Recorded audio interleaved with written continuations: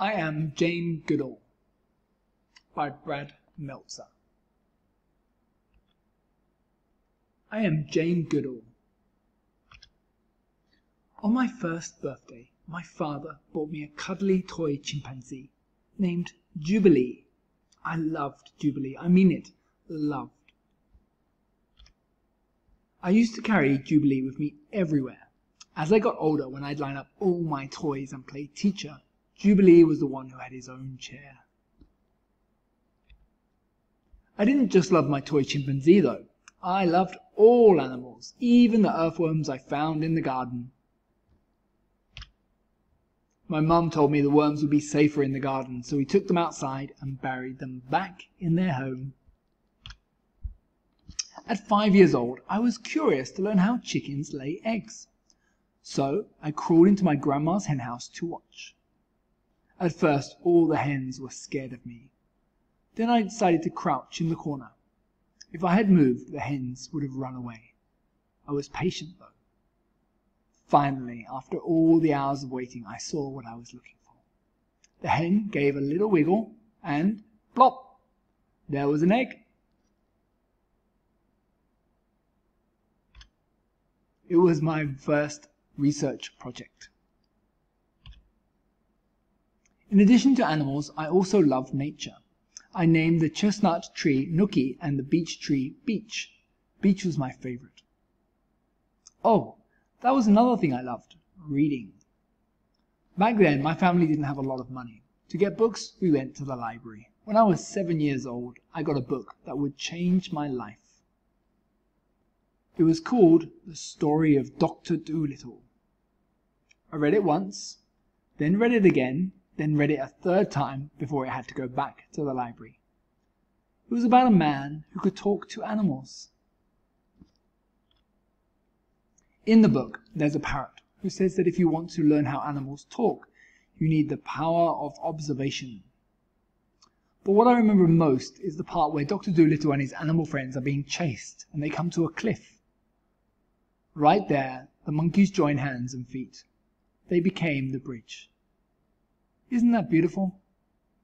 We can accomplish anything by working together. After reading that book, I vowed that I would go to Africa and live among the animals. By the time I was 12, I had my own nature group, the Alligator Club. My friends and I raised money to help old horses. We took nature walks and wrote down what we saw or at least I did. If you wanted to have a high rank in the club, you had to be able to recognize 10 dogs, 10 birds, 10 trees, 5 butterflies, or moths. Was I the best student? Not really. On school days, it was hard for me to wake up. I didn't like being indoors. If we were outside or there were animals around, that's when I'd get excited.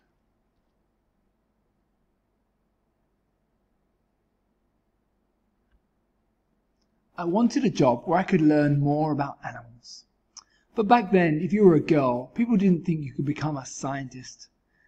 They expected girls to become nurses, secretaries, teachers.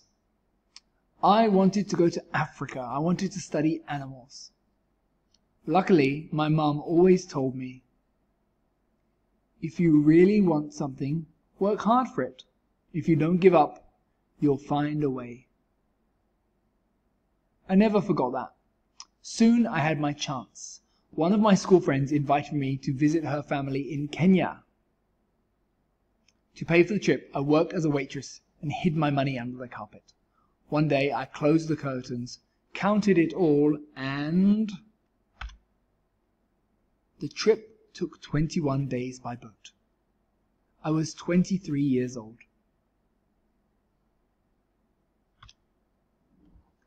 It all seemed like a dream until I saw a giraffe who was staring directly at me.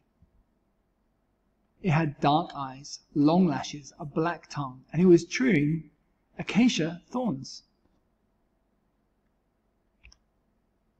I knew my dream was coming alive. Finally, I was in the Africa of Dr. Dolittle. Two months later, my life changed again. Someone told me if you are interested in animals, you must meet Dr. Leakey. Dr. Leakey was an anthropologist, which means he studies how humans live, and also a paleontologist, which means he studied fossils and bones.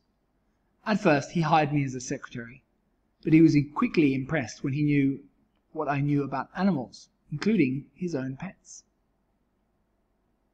Eventually, Dr. Leakey told me about a new job studying chimpanzees up close. He said going into the forest would be hard. It would be dangerous. But if we could find out how chimps live today, we'd learn more about how our own prehistoric ancestors used to live. For a year, I read everything I could about chimpanzees. I was also told that women couldn't be alone in the forest. They said I needed a guide plus a companion. My mum offered to come. I was ready. I'll never forget the day, July 16, 1960, the day I first set foot in what is today Gombe National Park in Tanzania, Africa. At 26 years old, I had finally made it to the home of chimpanzees. It was a place that would change my life. During one of my first explorations, we saw two chimpanzees eating in a tall tree. They noticed us and then they ran away. The next day, we didn't see any chimps. There were no chimps the day after that either. For months I tried to get close, but they kept running away. Then I started going alone, just me. I'd go to a high area called the peak and look down with my binoculars. In time, I saw that chimpanzees would hang out in groups of six or fewer. The female chimps would be with the children, the male chimps would be with one another. These weren't mindless animals. This was a community. Still, it took nearly a year before I could get within 100 yards of the chimpanzees. One day I came back to camp and found out one of the male chimpanzees had taken our food. The next day I waited and waited. There were no chimpanzees in sight. Then, at 4 p.m., I heard a rustling noise by my tent. It was the large male chimpanzee with a thick beard. David Greybeard. That was the name I gave him. Back then, people told me there was a certain way to study animals, that I shouldn't give the chimpanzees names. They said animals were supposed to have numbers, not names. Why? Well, they thought animals didn't have personalities or emotions. They thought that if we give them names, we'd stop pretending they were like us. But that's what no one realized. They were like us. That day, David Greybeard took my nuts and my bananas. A month later, he took one from my hand. Even later, out in the forest, he slowly approached me and checked to see if I had a banana in my pocket. It was one of my proudest moments. Having the other chimpanzees now understand that I wasn't a threat.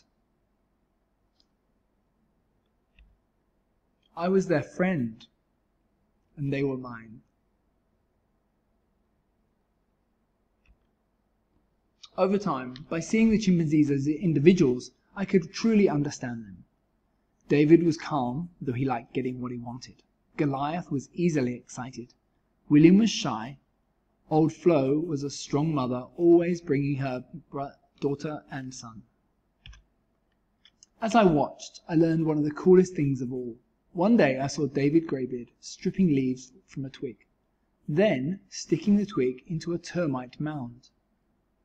He wasn't just using the twig as a tool, he had made that tool. Before that, scientists thought only humans could make tools. There was no doubt now that these animals were intelligent. Every night I'd write in my journal about what I observed and every day I saw the chimpanzees doing the same things we do holding hands, tickling, kissing, even patting backs to reassure each other.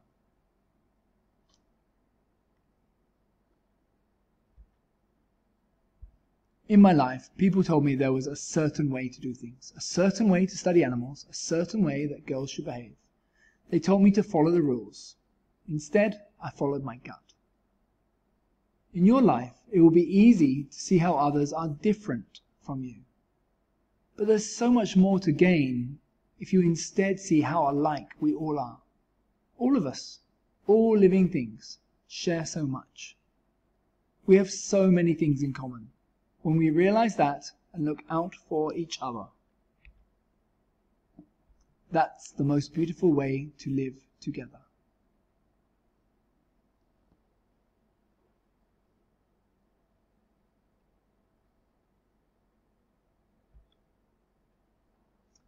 I am Jane Goodall, and I see so much that we have in common. Watch, observe, be patient.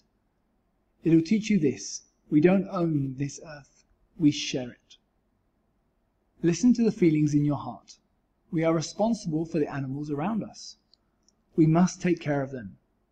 When one of us is in trouble, be it human, creature, or nature itself, we must reach out and help. When we do, we build a bridge. A bridge that will carry all of us.